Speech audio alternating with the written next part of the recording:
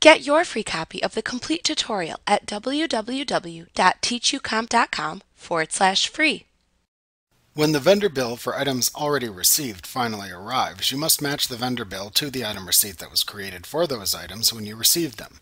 To do this, select Vendors, then enter Bill for Received Items from the menu bar to open the Select Item Receipt window. In this window, select the vendor from whom you received the items and created the item receipt by using the Vendor dropdown.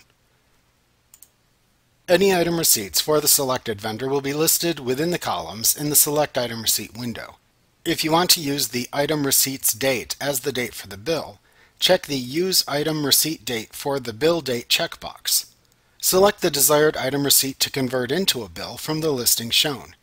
If you use the memo field when creating the item receipt, this information will appear in the columns to help you distinguish between the item receipts shown.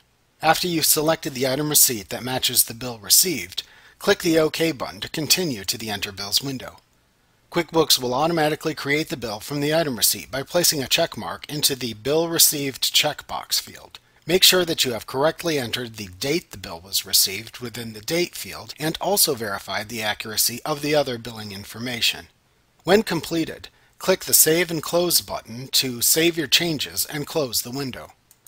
If prompted by QuickBooks to save your changes to the transaction, click the Yes button to save your changes to record the bill. The change referred to is simply the check mark that is now placed into the bill received field, changing the transaction from an item receipt into a bill. Like what you see? Pick up your free copy of the complete tutorial at www.teachucomp.com forward slash free.